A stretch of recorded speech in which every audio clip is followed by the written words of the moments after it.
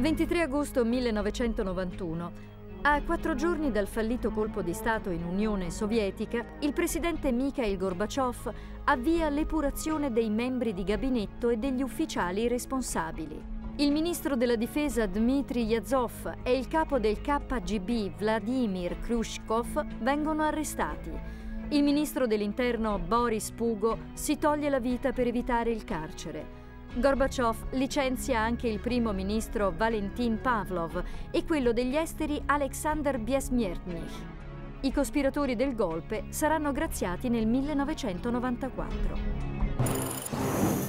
Perché Mikhail Gorbaciov oggi è più noto e anche più apprezzato in Occidente che in patria, perché tentò in quella fase che fu caratterizzata da due parole in russo che divennero velocemente molto famose anche in Occidente, glasnost, ovvero trasparenza, il fatto che il pubblico potesse controllare il potere politico e perestroica, eh, riorganizzazione. Eh, questi due tentativi, queste, questi due obiettivi che la presidenza Gorbaciov eh, si poneva furono in parte realizzati in quegli anni, ma lo stesso Gorbaciov non riuscì a eh, conferire alla sua missione politica quella capacità di rassicurare il popolo russo e di dare eh, una garanzia di sicurezza sia dal punto di vista sociale che dal punto di vista economico. Questa scarsa capacità di infondere una leadership rassicurante e di sicurezza per il proprio popolo costò allo stesso Gorbaciov